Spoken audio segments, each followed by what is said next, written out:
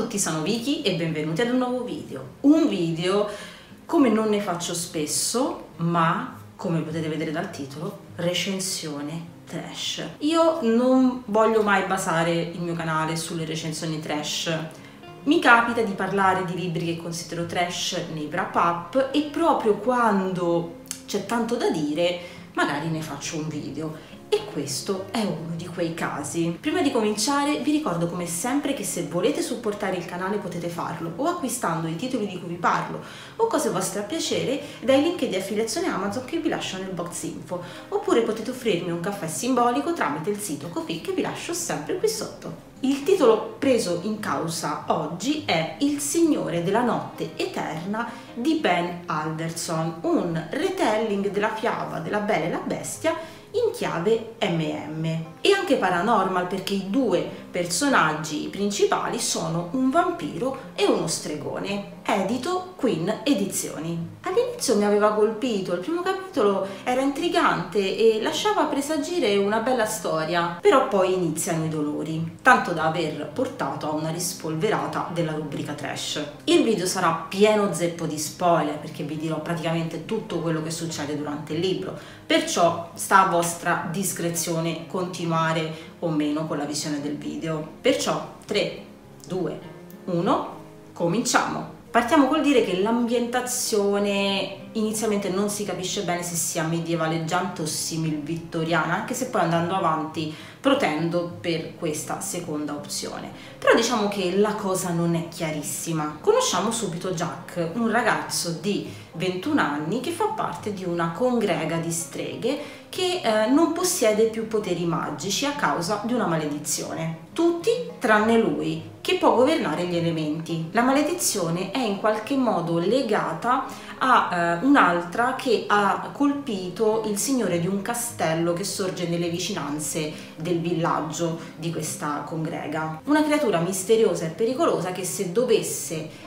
uscire fuori dai confini del castello diffonderebbe il male. Ogni anno una persona chiamata rivendicato, viene inviata al castello eh, con lo scopo di rimanerci un mese per poi in una notte precisa venire uccisa dalla creatura, da questo signore. Jack, in virtù dei suoi poteri magici, è stato cresciuto sin da piccolo con lo scopo di diventare un giorno un rivendicato, far innamorare la bestia, questa creatura, di sé per poi ucciderla in una specifica notte di luna rossa. Praticamente funziona così. La maledizione verrà spezzata per la congrega di streghe per le streghe se Jack riuscirà a uccidere la creatura, mentre verrà eh, spezzata soltanto la maledizione della creatura se questa riuscirà ad uccidere Jack, se questa ucciderà Jack. La trama di base è anche carina e in realtà somiglia per alcuni aspetti a Nella casa della bestia di Rosalie Oaks, un altro retelling della fiaba di, eh, della Bella e la Bestia in chiave MM, tra l'altro edita sempre da eh, Queen Edizioni. Peccato che però dopo il primo capitolo il Signore della Notte Eterna va a meretrici. Entrato nel castello, Jack scopre che eh, Signore eh, è, ha una forma umana, ha questi capelli bianchi, questi occhi rossi, canini acuminati, la pelle pallida e insomma è lui il vampiro della storia. First reaction, shock. Come prima azione Jack, che è stato addestrato tutta la vita per far innamorare la bestia di sé, che cosa fa? Da di matto e colpisce eh, insomma, eh, il signore quando questo gli mette le braccia, cioè le mani sulle braccia. Complimenti Jack, l'addestramento è servito a molto. Il vampiro si arrabbia da morire, fa una scenata e lo rinchiude in una stanza. Per le successive due notti Jack viene aiutato da qualcuno che vive all'interno del castello, che però eh, risulta invisibile. Costei, perché ha una voce femminile, gli eh, dà la chiave della, della stanza in cui è rinchiuso in modo che lui possa uscire eh, e gli fa trovare in eh, una stanza eh, tutto un ben di dio di cibo, un vero e proprio banchetto ogni notte. Però a un certo punto Jacques, stanco di aspettare l'arrivo del Signore, cioè che si rifaccia vivo, Signore che tra l'altro scopre chiamarsi Marius e il fatto che si chiami, sia un vampiro e si chiami come il Marius delle cronache dei vampiri, mi triggera un pochino. Dicevamo Jack stanco di aspettarlo, invece di cercarlo per il castello, perché comunque ha la possibilità di uscire dalla sua stanza, cosa fa per smuovere le cose? Dà fuoco alla propria stanza rischiando di rimanerci secco. Com'è intelligente questo ragazzo. Marius lo salva e cosa fa successivamente Jack? Si rimette nei guai, tra l'altro usando la propria magia, cosa che non dovrebbe assolutamente fare perché non è il caso che Marius scopra dei suoi poteri e chi sia in realtà ma comunque Jack questi poteri li userà continuamente. Marius lo risalva e dopo lo invita a cena dicendogli che lo trova interessante. Ma perché trova interessante questo idiota che si mette sempre nei casini, che lo fa scomodare ogni volta, che ha pure rischiato di uccidere qualcuno a cui Marius tiene e con cui non ha mai eh, parlato realmente? Ovvio, perché Jack è bello e quindi va tutto bene, sicuramente lo avrebbe trovato eh, un po' meno interessante se fosse stato eh, bruttarello. Poi Jack coerentissimo perché non vuole che l'altro lo tocchi, però deve farlo innamorare di sé, quindi sai, la cosa potrebbe rivelarsi necessaria. Però si veste in modo da lasciare scoperta la gola e flirta con lui. E qui ci sono un po' di dialoghi inconsistenti e insipidi che dovrebbero farci apparire Marius affascinante e misterioso, ma l'obiettivo non viene raggiunto. Dopo la cena Jack lo sente parlare,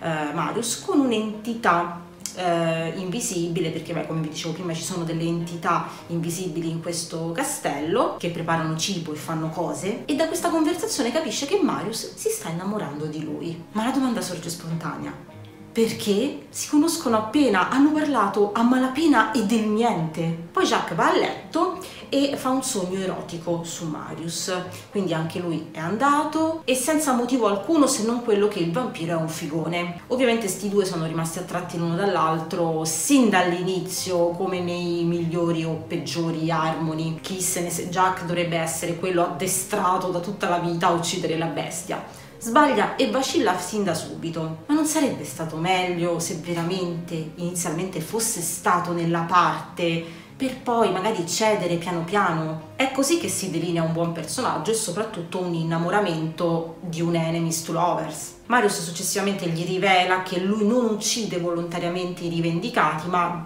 l'ultima notte, quella della, del plenilunio della luna rossa, eh, perde il controllo e anche che vorrebbe uccidere la discendenza della strega che lo ha maledetto, di cui fa parte anche Jack. Bene ma non benissimo. Comunque tornando all'ambientazione vengono utilizzate frasi, espressioni troppo moderne per il contesto, tipo cambiare look, che magari mi sbaglio, però mi sembra veramente moderna come eh, come espressione, ma alla fine questo forse è l'ultimo dei mali. Poi Jacques contatta sua madre tramite la magia che non dovrebbe usare di notte, ma ovviamente la usa di notte, nonostante possa essere scoperto da Marius, ma vabbè, cioè adesso l'ho perso, ma lo diceva proprio testuale, tipo non dovrei farlo di notte, però non posso resistere, una cosa del genere, tipo perché allora sei cretino, cioè ricordiamoci che questo tizio è stato addestrato tutta la vita e agisce goffamente in maniera scriteriata in ogni cavolo di istante. Ma cosa sto leggendo? Inoltre il libro ci dice che i due si stanno avvicinando senza che ci siano proprio le basi di una sorta di intensità. Quando arriva il primo bacio, non si prova niente perché è un rapporto che si basa sul nulla. Inoltre c'è una frase che mi ha fatto morire che volevo riportarvi ma ho perso lo screenshot dove um, praticamente c'è uh, Marius tipo sdraiato per terra e Jack nota che la gravità modifica la sua pelle ma è stranissimo, veramente stranissimo. Ora, cioè, eh, non vorrei eh, addentrarmi in cose sci- di scienze, eh, diciamo che non mi competono, ma è possibile sta cosa? Cioè, nel senso, può e continuano a volerci far credere che Marius sia affascinante, ma il fascino di una banana e la capacità di conversazione di un pollo. A questo punto Jack eh, comincia insomma, a rendersi conto che Marius non è cattivo e inizia a mettere in discussione la propria missione. Dopodiché fanno un bagno alle terme e finiscono in camera da letto a fare cose. Ovviamente Marius ha un attrezzo enorme perché non sia mai. Ovviamente lui è diverso dagli altri uomini che già ha avuto in passato. E da dopo che lo fanno il loro amore diventa improvvisamente speciale, profondo, perché nessuno eh, condivideva testuali quello che condividevano loro, ma cosa di preciso non si sa. Successivamente viene rivelata la um, verità del passato, mi aiuto leggendo un attimino le questioni di trama, che Marius si era innamorato dell'uomo che era stato promesso sposo alla strega che per vendetta ha scagliato la maledizione. Così Marius uccide il suo amato come farà poi con tutti gli altri rivendicati, perdendo il controllo in quella fatidica notte. Jacques litiga con la madre a distanza perché ovviamente non vuole più fare quello che è stato mandato a fare e rivela a Marius la verità sulla sua presenza lì e sui suoi poteri. Marius si arrabbia tantissimo, non vuole più vederlo, eccetera, eccetera. E arriva il giorno fatidico, Marius perde il controllo, ma non come ci eh, potremmo immaginare, tipo mh, mm, diventando animalesco, no, cambia personalità diventando un cretino ridacchiante che va inseguendo eh, Jack per il castello, un po' tipo gatto col topo, dai, impegnati, fammi divertire, tra la la. Rendimi questa caccia interessante, eccetera. Perché da trama ovviamente non poteva ucciderlo davvero, no? Il nuovo piano di Jack è raggiungere il mattino senza venire ucciso e senza uccidere nessuno e continua nel mentre a usare i suoi poteri nella maniera meno affascinante possibile, cioè tipo arraffica una volta il fuoco, una volta il vento, così perché devono farceli vedere tutti questi poteri e il libro sta finendo, quindi bisogna affrettarsi. A questo punto succedono un po' di cose. Alle porte del castello arriva la madre di Chuck e arrivato il mattino senza che nessuno sia morto, la barriera che delimitava diciamo, questo castello si dissolve. Marius torna normale e spinge Jacques fuori, lontano dal castello, no, tipo per metterlo in salvo, solo che qui viene ucciso dalla sua stessa madre perché ovviamente ha tradito la congrega eccetera. Arrabbiatissimo, Marius uccide la donna e trasforma Jacques in vampiro in quanto unico modo per salvarlo. Fine anzi no, adesso diventeranno un duo Conte di Montecristo style, andando a vendicarsi, uccidendo eh, tutte le streghe della, della, congrega. Vi assicuro che ve l'ho reso più interessante con questa recensione. Dialoghi insipidi, personaggi senza spessore che agiscono a cavolo di cane, storia d'amore inconsistente, per me una delusione totale. Per carità, i gusti sono gusti, se a voi il libro è piaciuto sono contentissima per voi. Questa naturalmente era la mia opinione, portata alla vostra attenzione in maniera, spero, divertente. Ah, ho anche scoperto che è tipo il primo libro di una serie che io non voglio più vedere nemmeno da lontano. Molto bene, il video finisce qui, spero che vi sia piaciuto, se è così lasciate un like ed iscrivetevi al canale e fatemi sapere nei commenti se avete letto questo libro, avete intenzione di leggerlo, se la pensate come me o diversamente, parliamone nei commenti. Nel frattempo io vi saluto e vi rimando al prossimo video. Ciao!